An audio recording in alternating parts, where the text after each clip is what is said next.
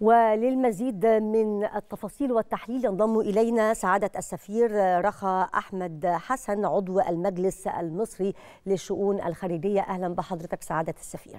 أهلا بيك والساده المشاهدين. أهلا بيك. بالتأكيد السؤال يعني التقليدي هو أهمية هذه الزيارة في هذا التوقيت الشديد الحساسية بالنسبة للسودان. الحقيقة إن في السودان تدور في حلقة مفرغه والشعب السوداني هو الذي يعاني. نعم.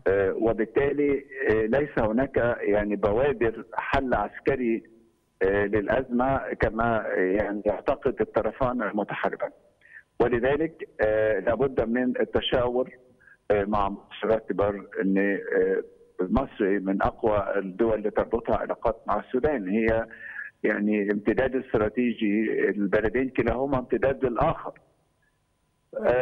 بدأ في في السودان أزمات كبيرة للشعب السوداني يعني مهددين بقلة الغذاء لدرجة بعض التقارير بتقول إن هناك احتمالات لمجاعة. الناس اللي هم النازحين من أماكنهم وعايشين لفترة طويلة أو تعطيل الإنتاج أيضا فبالتالي لابد من البحث والتشاور عن حل مخرج من هذه الأزمة المستحكمة.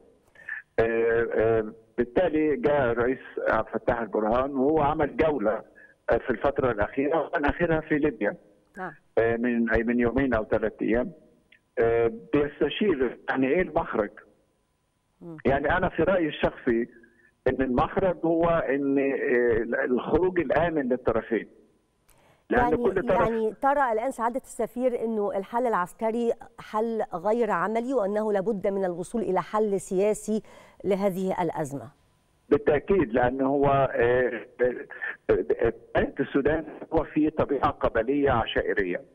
فمن الصعب جدا إن السلطة المركزية اللي هو الحكومة والجيش يقدر يسيطر عليها طالما إن في هناك عناصر لديها سلاح ولديها موارد لهذا السلاح ولديها دول إقليمية تؤيدها سواء دول جوار أو دول في في المنطقة العربية. فبالتالي الصراع وصل لمرحلة إن هو خلاص هيستمر على كده. فلازم المخرج المخرج إيه؟ هو الخروج الآمن للطرفين. بحيث إن هو يتم التحول إلى حكم مدني والطرفين ما يبقاش فيه بقى لا مطاردة ولا متابعة قضائية ولا إلى آخره ويبقى في الحكومة المدنية في خلال تطور الموقف. وتوصل سعادة إلى السفير. هناك يعني بعض التحركات الإقليمية منذ فترة سواء في منبر جدة أو لقاء المنامة. ولكن أيضا هناك منذ يومين الولايات المتحدة الأمريكية عينت مبعوثا خاصا أمريكيا إلى السودان. توم بيرييلو يعني كيف ترى هذه الخطوة الدبلوماسية الصحيحة والمتأخرة نسبياً؟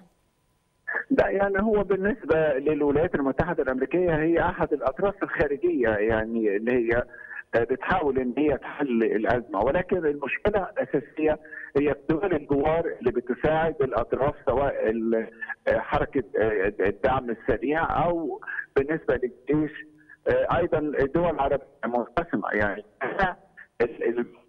أن يحل داخليا بأن الطرفين يتفقوا على ان هيخرجوا ويسلموا لحكومة مدنية.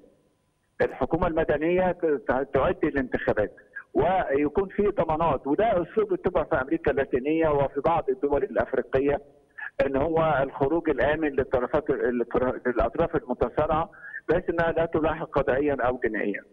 ما هو الطرفان التقى بالفعل في منبر جدة ووقع على وثيقة أطلقوا عليها وثيقة نوايا يعني حماية المدنيين ويبنى عليها ما يعني ربما ما تقوله حضرتك الآن الوضع يعني الوصول إلى هذا الخروج الآمن هل يمكن البناء على هذه الوثيقة أم أن الأمر يحتاج يعني آلية أخرى للوصول إلى هذا الخروج الآمن؟ أعتقد ان لا يعني دي كان مندوبين عن الطرفين ليس الطرفين. وإنما أعتقد ان المجهود اللي بذله رئيس الوزراء الأسبق عبد الله حمدوك يكمل هذا المجهود بان هو يرتب لقاء وبناء على تصور معين هو عنده تصور لأن هو قبل كده كان رئيس وزراء.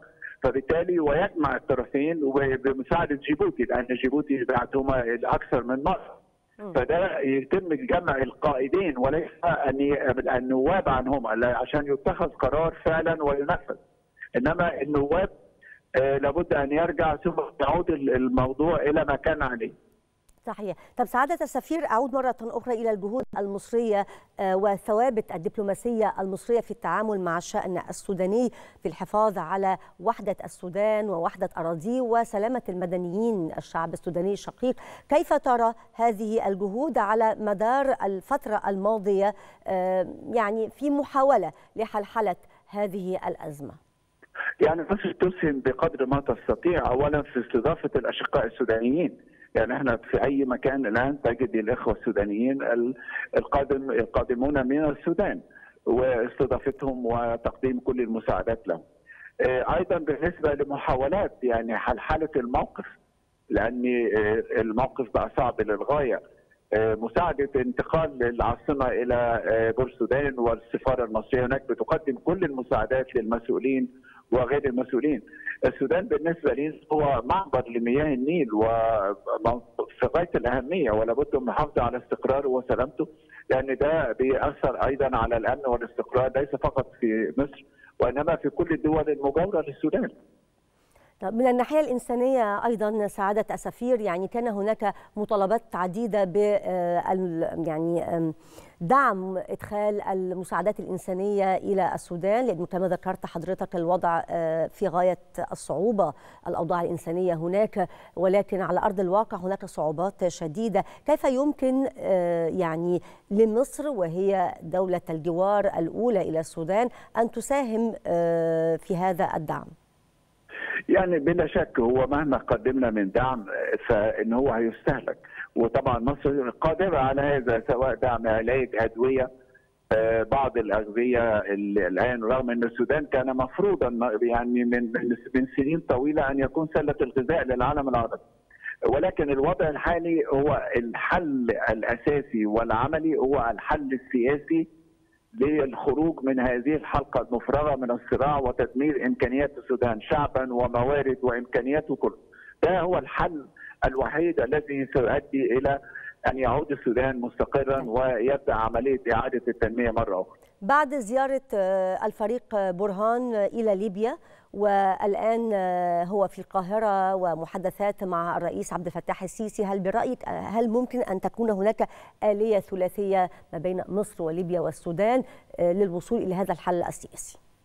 لا يعني أعتقد إن ليبيا هي نفسها محتاجة مساعدة. يعني هو هو راح ليبيا لأسباب إن كان في دعم سريع. كان زمان أيام ما كان اسمه الجنجويد كانوا موجودين في ليبيا فبالتالي احتمال عن طريق برضه شركة باجنر الروسية يكون بيقدموا مساعدات للدعم السريع. فده استشارة في جانب آخر خالص لكن ليبيا نفسها محتاجة مساعدة. مصر تستطيع مع السعودية والإمارات ودول الجوار إن هي توصل إلى توافق وتنشط دور رئيس الوزراء السوداني السابق عبد الله حمدوك ليكمل مبادرته التي توقفت عندما كان مفترضا أن يقابل الرئيس عبد الفتاح البرهان. نعم. أشكرك جزيل الشكر سعادة السفير رخا أحمد حسن عضو المجلس المصري للشؤون الخارجية. شكرا جزيلا لحضرتك.